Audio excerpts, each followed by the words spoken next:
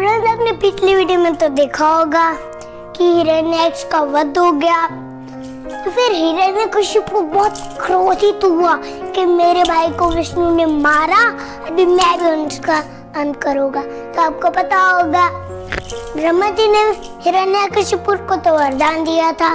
न वो दिन में मर गया रात में न अस्त्र से, न शस्त्र से, न मनुष्य से, न जानवर से। न वो अंदर मर सकता था, न बाहर। तो फिर वो सोचने लगा कि मैं भगवान हूँ, क्योंकि वो मर नहीं सकता।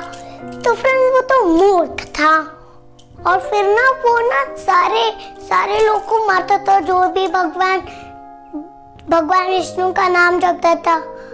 और ना उतना का अपने पुत्र प्रहलाद को भी मारने का कोशिश किया।